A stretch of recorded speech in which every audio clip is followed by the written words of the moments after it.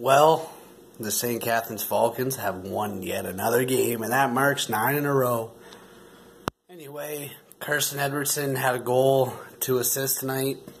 Noah Perlick had another assist. Matt Busby had two assists. Lucas Milsey scored. Dakota Miskolzy had a goal and an assist. Liam Dunda and Zach Lawrence both scored shorthanded. Julio Adams had an assist. Dante Felicetti had an assist. Romeo Dinatino had an assist. And Tristan DeJong had an assist. And Dylan LaMarche stops 21 out of 23 shots for a back to back win. Anyway, 63 points, second place, 9.6 points behind. Uh, Caledonia. So that's all I'm going to say. Go Falcons, go.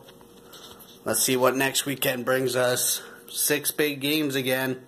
Two against Welland. Let's do this, boys. Go Falcons, go. Falcons 50th anniversary, baby.